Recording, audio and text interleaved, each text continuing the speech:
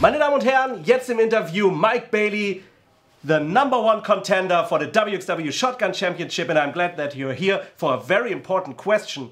What are you thinking about Bobby Gunns and his interference in the final match of Road to 16 Carat?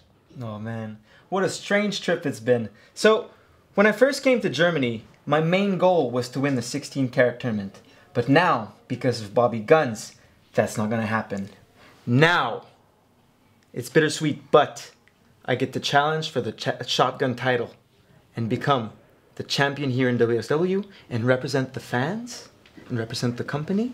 Uh, uh, uh, I don't know what you think, Daniel-san. You're the guy from Karate Kid, right, aren't you? You're the guy that got beaten up all the fucking time. But you're a lucky motherfucker because you got to challenge me. You can challenge me for the number one championship in WXW, but know what? I'm gonna be Mr. Miyagi. I'm gonna teach you a goddamn lesson. And your fucking ankles, your legs, I'm gonna twist them, I'm gonna break them. You're gonna do a whole fucking lot of yoga to recover from that. And is that some green tea? Mm-hmm. Enjoy. Robert, you don't phase me. You know why?